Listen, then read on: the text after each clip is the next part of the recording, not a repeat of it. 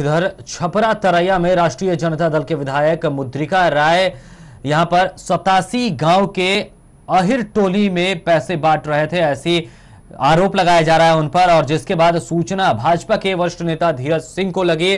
वहीं सूचना मिलने पर धीरज सिंह अपने कार्यकर्ताओं के साथ मौके पर पहुँचे, जिसके बाद विधायक ने गोली मारकर धीरज सिंह के भाई को घायल कर दिया, जिसका इलाज छपरा सदर अस्पताल में चल रहा है। तो बड़ी यहाँ पर चूक देखने को मिल रही है। एक बार फिर से पैसे बांटने का आरोप लगा है आरजेडी के यहाँ पर कार्यकर्ताओं और नेता पर, और उसके बाद से गोली चलने की भी बात आई है। और छपरा से हमारे साथ इस वक्त जुड़ रहे हैं फ़ोन लाइन पर हमारे संवाददाता मनीष। मनीष, फ़िलहाल जिसको गोली लगी है, उसकी स्थिति कैसी है?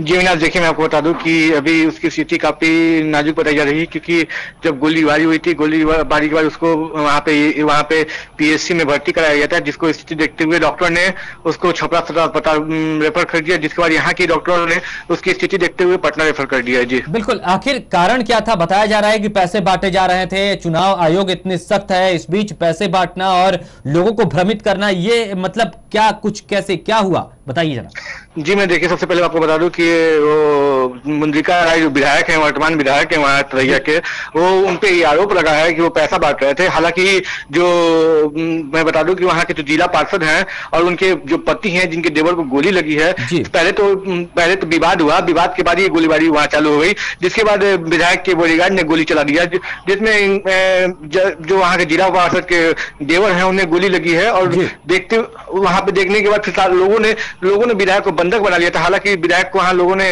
विधायक के ऊपर हाथ भी चला दिया है जिसको देखते हुए पुलिस भी मौके पर पहुँच गई है और फिर घटना को पुलिस पुलिस घटना की जाँच कर रही है। क्या इसमें किसी तरीके की कोई मामला भी दर्ज कराया गया है?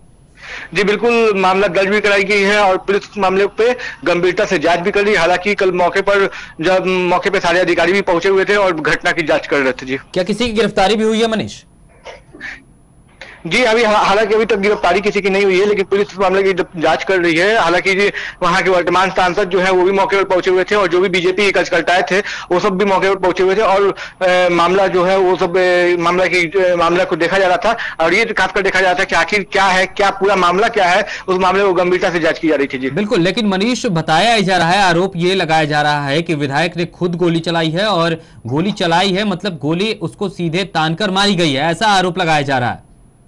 जी बिल्कुल ये आरोप तो लगाया जा रहा है लेकिन कहीं ना कहीं एक बार सवाल ये निशान खड़ा करता है कि आखिरकार मामला क्योंकि साफ़ तौर पे ये आरोप लगाया जा रहा है कि विधायक जो है वो पैसा बांट रहे थे। हालाँकि हालाँकि वहाँ विधायक का ये कहना है कि इन लोगों ने इन इन, इन लोगों द्वारा हम पे गोली चलाई गई है लेकिन पूरा मामला क्या है? इस स्वरूप में वहाँ के वहाँ की जनता भी है जो कि साफ़ तौर पर ये कर रही है कि विधायक के बॉडीगार्ड ने सबसे पहले गोली चलाया जो वहाँ पे उसके बाद उसको लेकर फिर मामला बिगड़ गया जिसको लेकर विधायक के विधायक को लोग बंधक बना लिया और विधायक को फिर बिल्कुल। फ़िलहाल तमाम जानकारियों के लिए मनीष आपका बहुत बहुत धन्यवाद। तो ये थे हमारे संवाददाता मनीष जो हमें अधिक जानकारी दे रहे थे। तो एक बार फिर से बता दें कि गोली यहाँ पर लगने की खबर आ रही है और बताया जा रहा है कि पैसे बांटे जा रहे थे जिसका विरोध करने पर विधायक और उसके बॉडीगार्ड ने गोली चला दी है। हालाँकि अभी तक किसी तरीके की कोई पुष्टि नहीं हुई है।